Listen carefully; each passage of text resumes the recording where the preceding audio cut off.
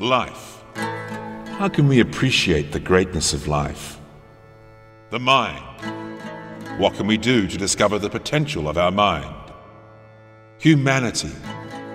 How can we discover our place in the universe? For we live in the vast, gigantic universe. We live in nature, and nature is more benevolent than the human mind can imagine. Nature has given us many clues and signs as to the purpose of our life on earth.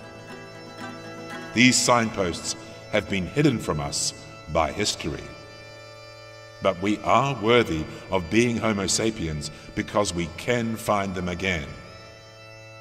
It's time to become aware of how to be citizens of life, citizens of the mind, and real citizens of humankind. But how can we open the door to this real life? The key to this door can be found in the answers to three questions, just like in the ancient fairy tales.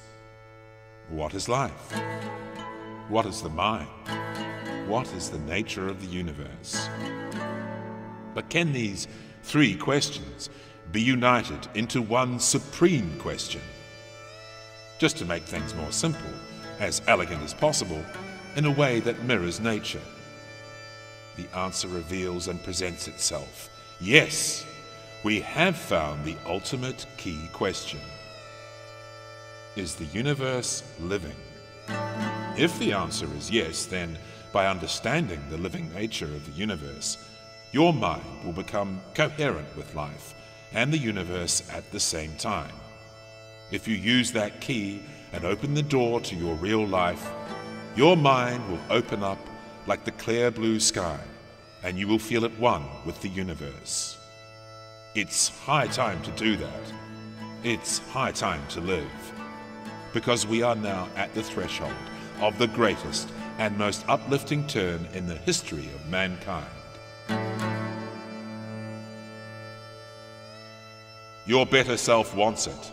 It says, Let's live your life to the fullest. Let's open the door. Let's open the grand book of the living universe. It's time to feel the winds of change.